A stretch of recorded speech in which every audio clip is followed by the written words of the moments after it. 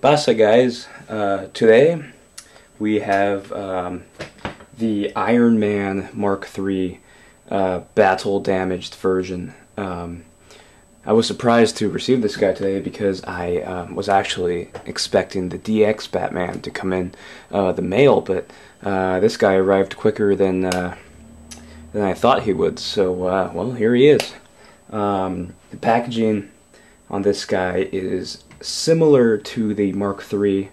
Um, it has the same colors and everything. Um, of course, the uh, the suit is damaged in this picture, um, and it gives you the sides and everything, and of course, it gives you the specs of the figure.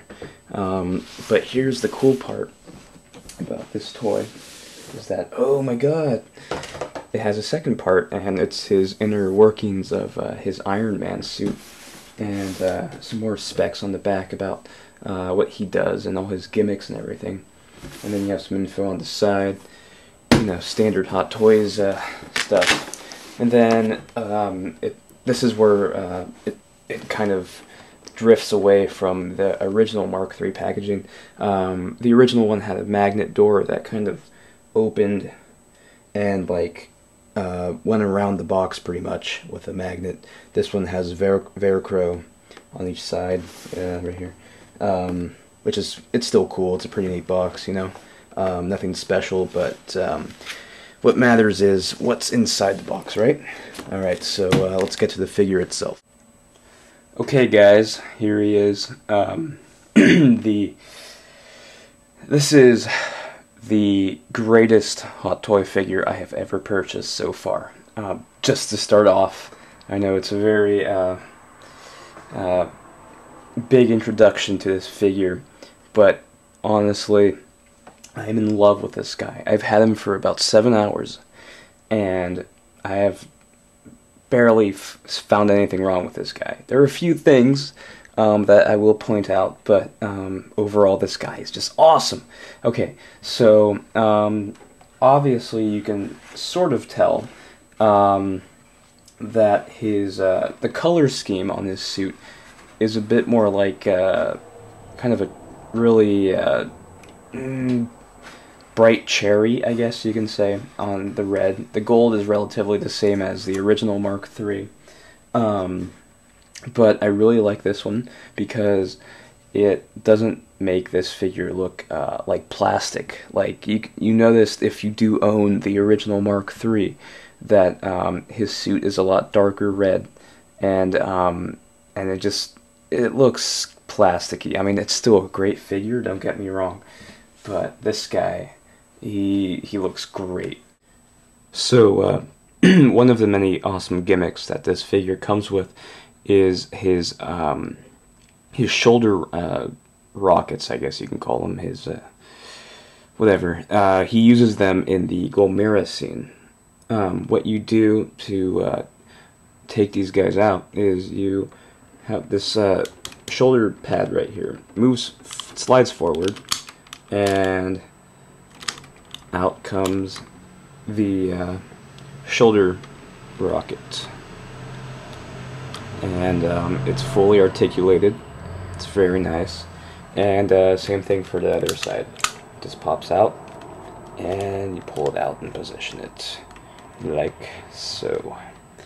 Very awesome. Um, you know, uh, I kind of wish that they included uh, these rockets in the first uh, version of the Mark III but um, you can tell that this figure is uh, totally redesigned.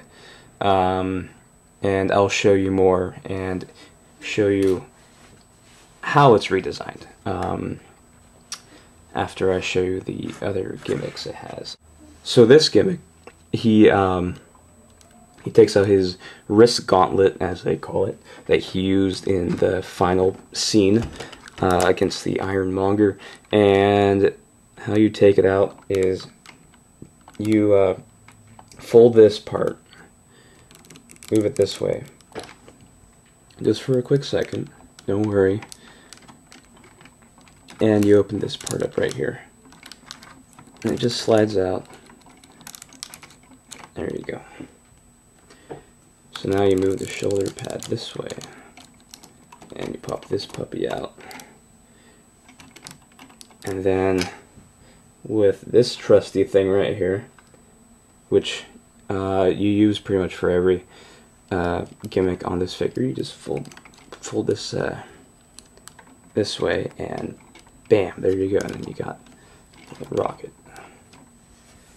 The detail in there is just amazing. I mean, it's crazy. I'm in love with this. And um, to put it back, you just simply do the, re the reverse version of what I did before.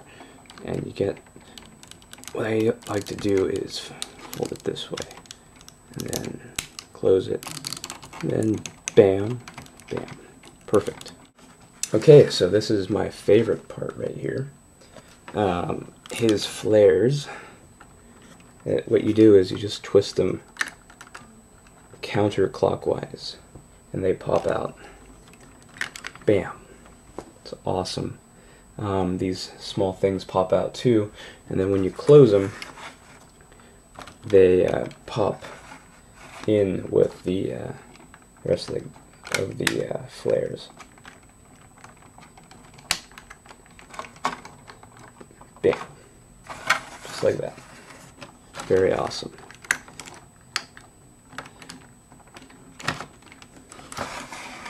So we go to the back now. And um, he comes with a newly redesigned uh, flaps. Um, these are relatively the same, but this, th these uh, parts, they actually come separately in the packaging. Um, and they are kind of difficult to put on at first, but once you do get them on, they just look amazing. Um, so I'm, I'm sure you noticed that the new addition is the uh,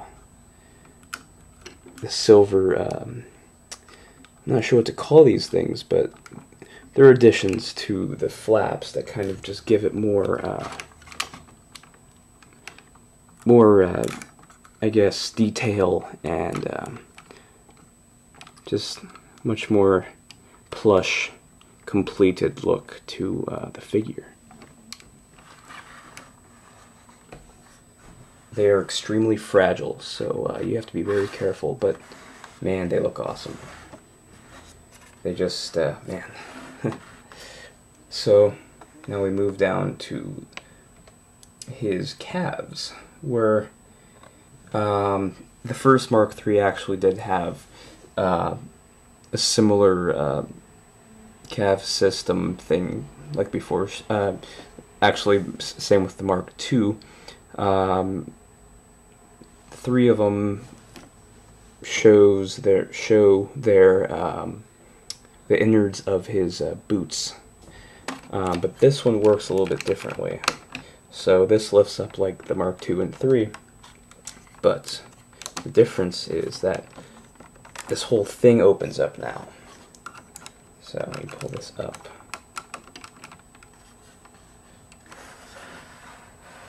And you can see the innards of his boot.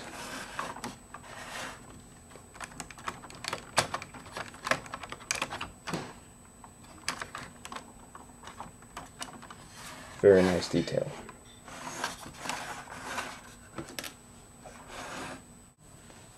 Okay guys, so um, for his uh, light up feature, he um, he comes a little bit differently than the uh, Mark II and 3. He um, has a separate switch for his uh, his head and a separate switch for his chest.